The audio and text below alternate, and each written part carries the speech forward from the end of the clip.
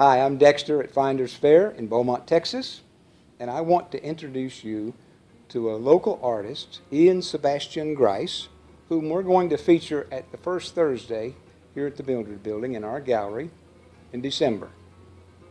Welcome, Ian. Hi. We've got some of your art here surrounding us that's going to be on display, and I'd like to kind of ask you some questions about where some of this stuff comes from and what it means to you and, and uh, how it evolved. Do you mind? No. All right. This painting over your right shoulder, what do you call that? Uh, that is called. It's un, it's untitled really. It has no no name. Uh, I made this piece. Uh, there was a girl uh, involved, and um, she made me feel like I just needed to rip my heart out. Uh, so the symbolism, the heart, and the spaces, and the cold snow. Um, and of course, he's still got his chin up, walking with his head high. Um, But with a broken heart. well, with a with well, with a with a heart. He just left it. He just kept walking. He didn't need it anymore.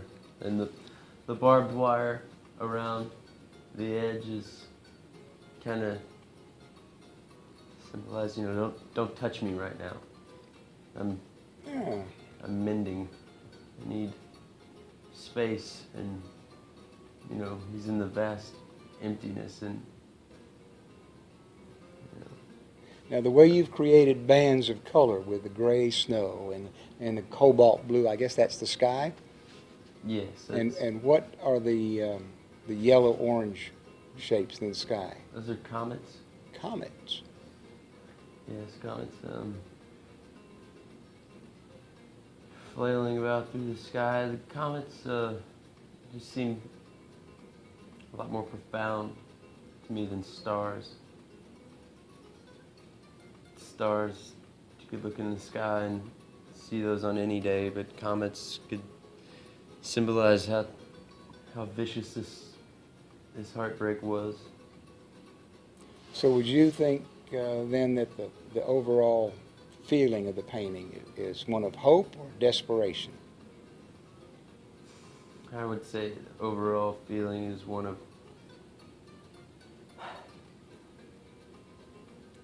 desperation overall, but maybe, you know, there's some hope in there because of his chin being held high. He's got.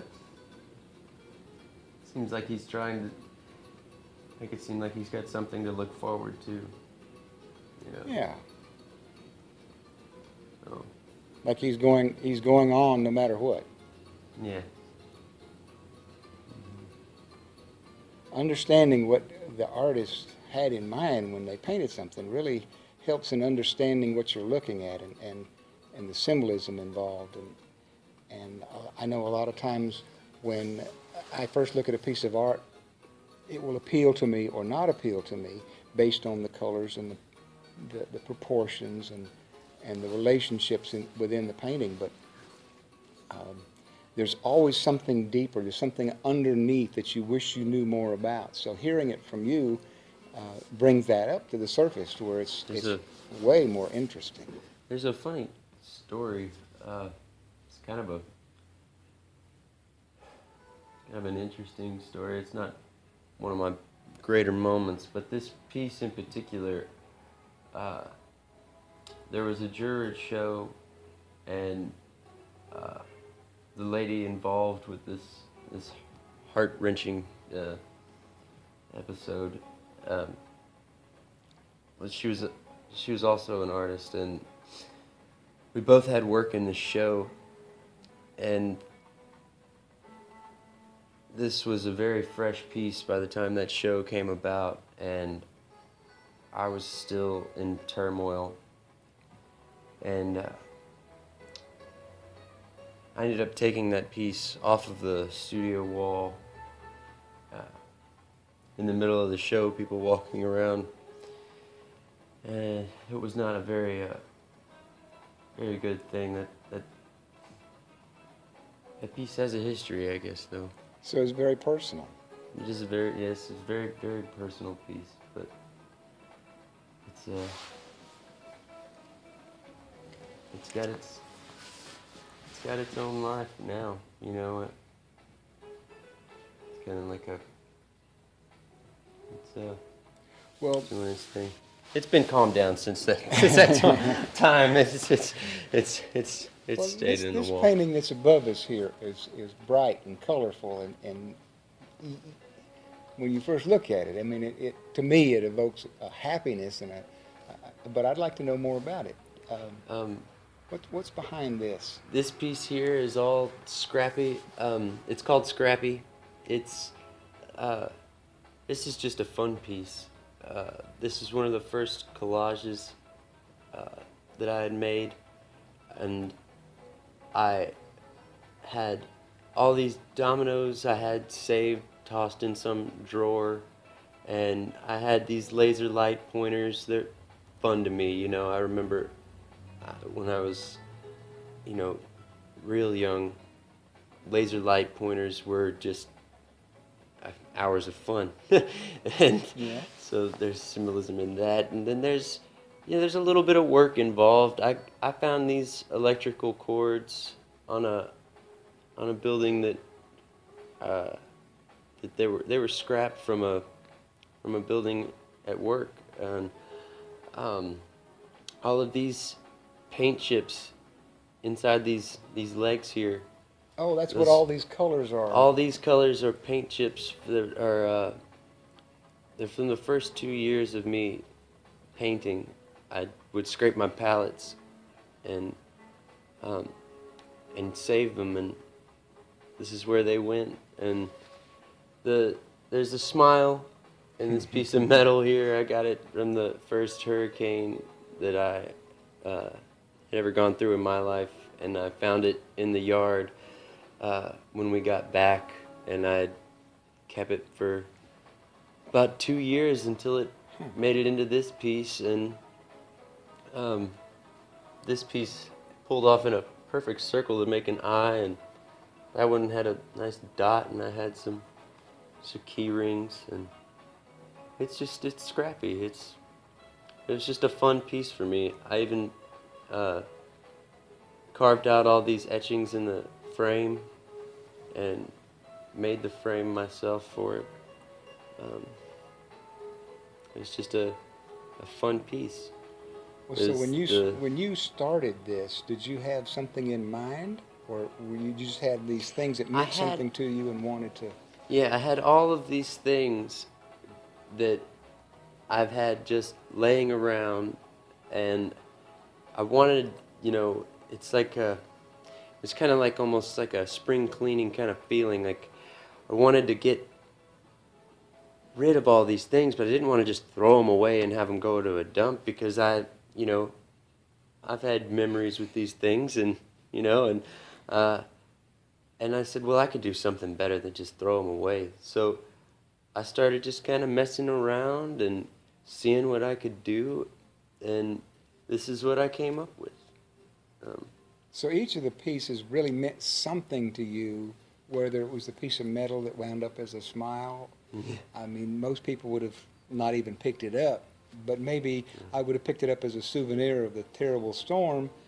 But after a while, I would have just pitched it. right. And you, but you, if I, now, I don't know if I'm reading this right, but what I'm hearing is that you're taking these things that meant something to you, whether it was just fun, passing, or whatever, mm-hmm. And you held on to them, and then at at a certain point, they kind of came together in a creation. hmm Yeah. So after you you did this, like for instance, this background, what is that? That is fabric dye, and it, but this is a this is all done on a on a wood uh, plank. This is a piece of wood that I cut out, um, and I'd stained the wood with this fabric dye because when I first came about building it, I had these legs and I was like, ah, okay, I'll do a square and I'll keep it kind of square. And then I had all these colors in here and I felt like I didn't know what to do with this wood. So I had a bunch of these different fabric dyes and I just strung them all around in kind of a, a tie-dye sort of fashion so that it could kind of somewhat blend with this here and still keep all of these pieces that are in here keep it have it a keep it a flow you know? Well it does. Um, keep it in flow and, and in an aesthetic aesthetically pleasing or aesthetically flowing i guess.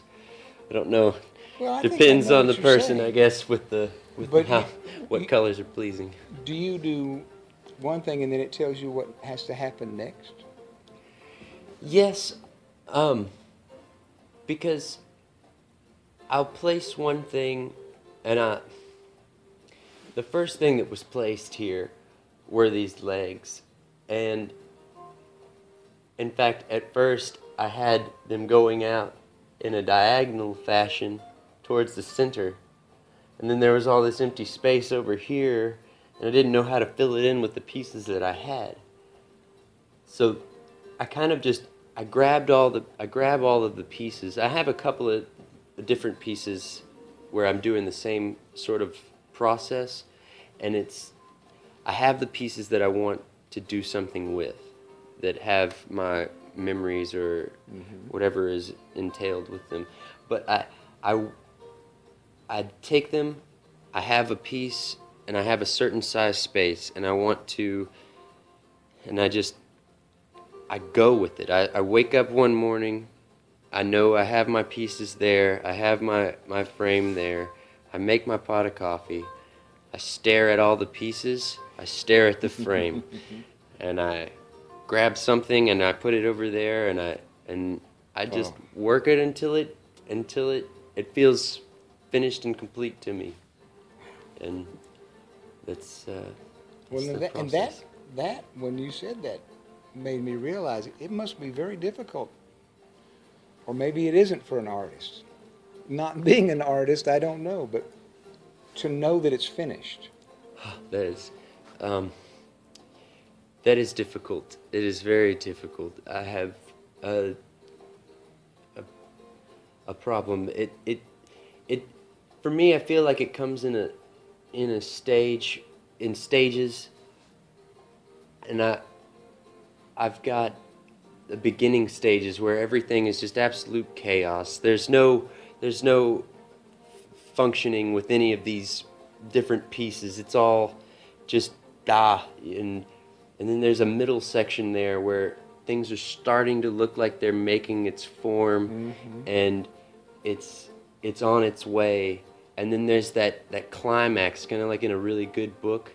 There's that climax right there towards the end where you're like, "Oh, this is almost finished, but I don't know. This piece might need to go over here. Or this piece, you know, might need to go over there." And and but then you know that like like most good stories, I think that they they end up having a happy ending. So and they and they end up in you know you you're either bawling crying because it was such a sad story or you're sitting there laughing along like and you know and then sometimes there's those pieces where you're just stuck in suspense like like when the movie ends and you're like well what happens to this person and well that can be, become part of the the point Yeah, so sometimes, sometimes, sometimes you can use that. That's that's that's where I have a lot of the fun.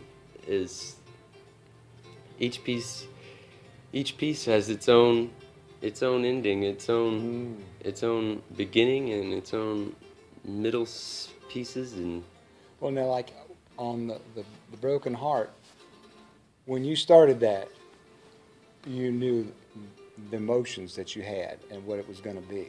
But when you started this one, did you know it was going to be so happy? No. I hadn't I hadn't I hadn't thought. I got there kind of in the middle somewhere. I found the happy cuz I had these rings and you know I was, well I could maybe make this a like a like a like a, a tree trunk. I was to say branch, but I could make it like a tree trunk, and I could maybe, you know, have this be the leaves on a tree, or you know, I could do that, or I could do this, but then, you know, then it got messy when I started looking at all the other pieces and where they would go around if I was to make this tree, and Well, I And think really- this tie dyeing on the board, it really pulls it all together and makes it, makes it fantastic. It's just really a fun, happy piece. Now, this, I know some people that don't know a lot about art, like, um, when, when something's called mixed media, they're not sure what that means. This truly is mixed media, yes, yes, yes, it's truly mixed Well, media. now, you've got a painting down here um, that I'm interested in. yeah, this painting. Yes. Yeah, this What, is a, um, this is a wedgie. This is a guy. Um, he's picking his wedgie, and the girl he went to the beach that day with is sitting in her inner tube, all mouth open and in shock, wondering, "Oh my gosh, I can't believe I'm actually witnessing this." and this is just. Uh, Now, what is, is, is the uh, good media? This is cork board. It's cork paper. Um, I generally with the cork, I generally do uh, fire hydrants. I've got a series of fire hydrants. On they're all done on cork board surfaces, and those are all done with um, with scrap paints that are excess from paintings that I'm in the middle of working on, and before they dry, I get the fire hydrant. But that's not this. This is uh, this came one morning. I uh, I had this cork board, and I wanted to paint. I had no idea what I was going to paint. Um, and so what I did is I put on a, a record uh, it's one of my more favorite records, and I started playing it, and it actually started here with this line here across the front of his leg, and then I had this other line here across the front of the other leg, and then I started to do these lines here, and those were all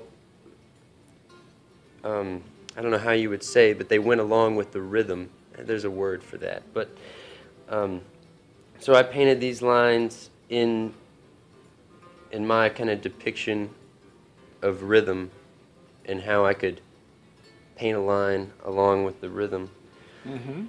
And from that, it grew, and I sat it down, and then I cooked myself breakfast, and because I didn't know what I was doing anymore, and then I looked back at it, and then I flipped it around and turned it upside down, and and um, and then I said, oh well, this could be a guy, and I could do this, and I could make it like a beach scene, and I could just make him pick his wedgie because that's just kind of funny. I mean. You know, and how often does that happen when you get out of the pool or you get out of the water and you gotta, you gotta, you gotta, you gotta pull your pants out. You know, Well, now you said it could be, and when you started looking at it, that it could be this. Could it have been anything else? uh, I think I think it could have been lots of different things. It ended up here. Now, why is the the, the sky orange? That's my favorite time of day, morning and uh, sunrise and sunset, when the sun is just rising and the glow of everything is gold. There's a golden glow on your lawn. You know, three o'clock in the afternoon, the sun is high and heavy, and everything is bright and uh, in the morning and in the evening, it's got that glow. It's kind of a, it's almost like, to me, it's the most comfortable part of the day, um, because you're rising from, and you just, you know, you're just rising from sleep, and you've got a fresh day, and Yeah. and it's easy to work itself into, and then at night you can look back at the a great day you've had, and and you can wind Yeah. yourself back into sleep. And So does this one have a title? uh, the wedgie is the title. It's a this is a comical piece. Now, is it comical. oil paint or acrylic? Or? Uh, this is acrylic, acrylic on cork. I'm not. Uh, I haven't gotten too far into oil painting. Uh, too. Well, I know some much artists yet. like the acrylic because it lets them work faster.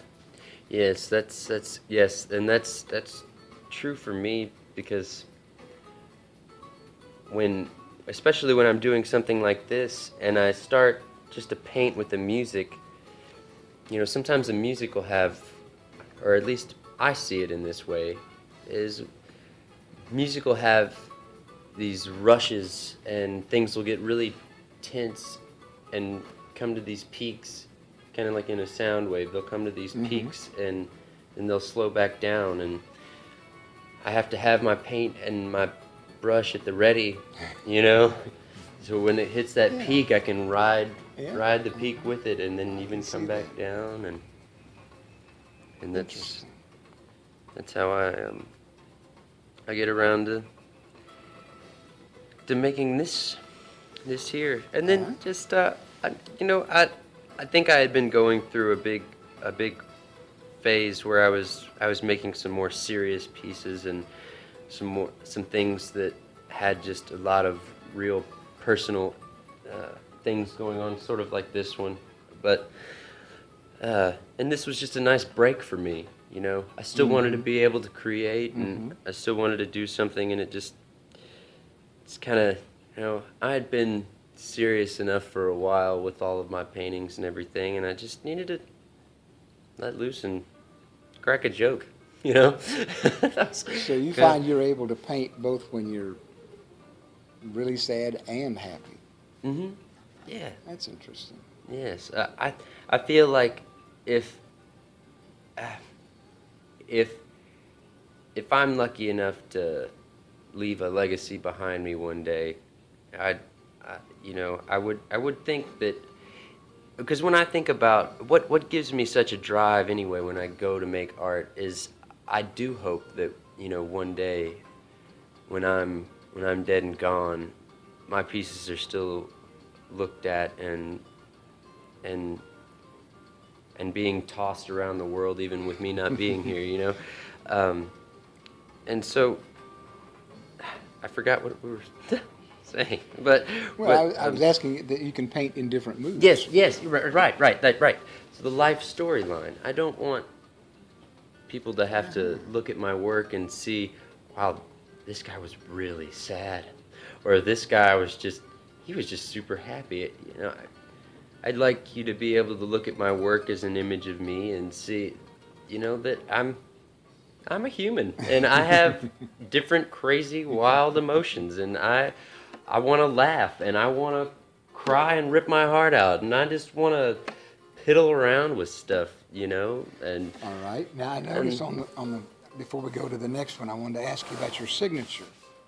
Ah, that that that took a that took a couple of years to get to get down. There's a lot of pieces I don't have signatures on, but then once I found it, that's it. And my signature is is an S is the giant squiggle, and an I is the dot. The dot makes the I and the S, and then there's a G in that bottom part of the S, and I can see it if you flip it upside down. Oh, it's like upside down and backwards. yeah, it's upside down and vertical, and and um, but it's my initials, ISG.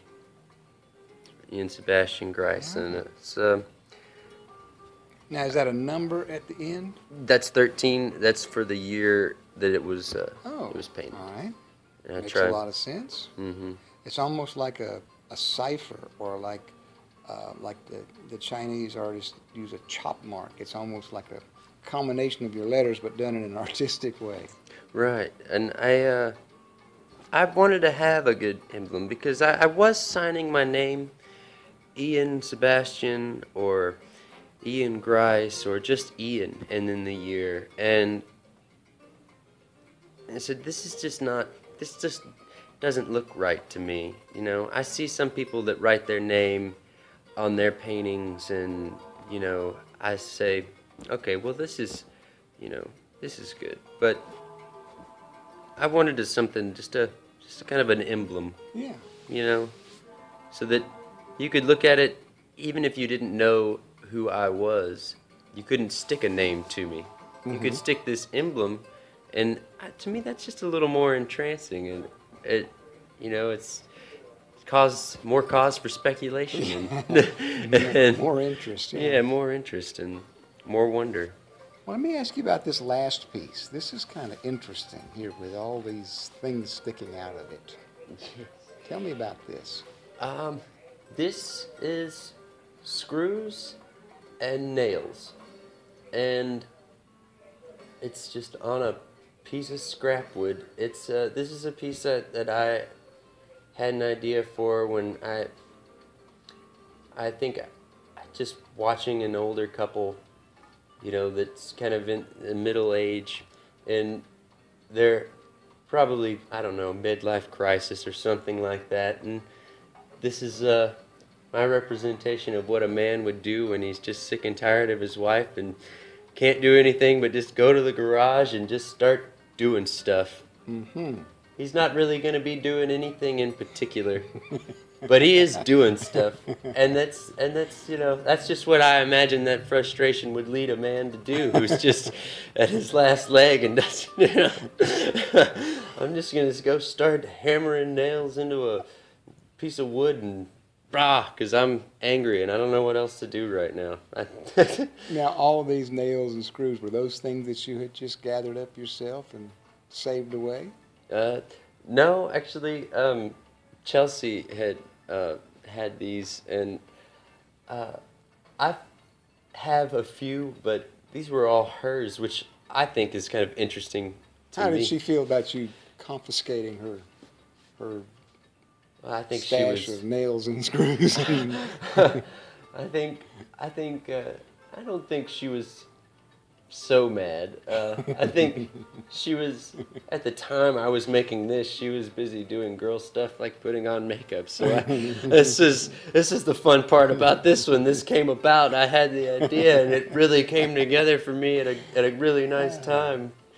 I was doing boy stuff, and she was doing girl stuff, and it's uh, one of those things. And and um, that's that's also what that kind of added to me added it you know that a girl would be the one that provides the the screws and the nails Yeah. and I'd just be the dumb guy that would sit there and just put it in the so Well, uh, we're going to have the first Thursday will be on December the 5th, I believe, Mm-hmm. and here in the Mildred Building, and, and that's the night that all the shops here in the building are open late. And we're going to have your things on display, these and other things, and they'll be here that night for the opening, and then we'll have them here for the rest of the month. So I hope that you all will come by and, and meet Ian that evening and, and get to know him and see some of his work. And we, we just like to have you come by and visit. Thank you very much.